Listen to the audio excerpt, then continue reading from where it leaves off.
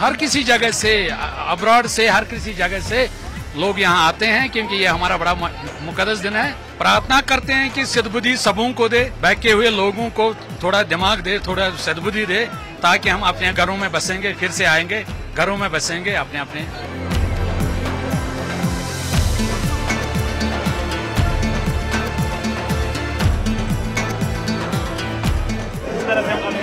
घर में इस तरह से माता खीरवानी का मेला मनाने आ जाती है पूरी मुस्लिम बरादरी है। हम चाहते हैं कि हमारे भाई बहन फिर से आ जाए, एक मोहल्ले में रहे।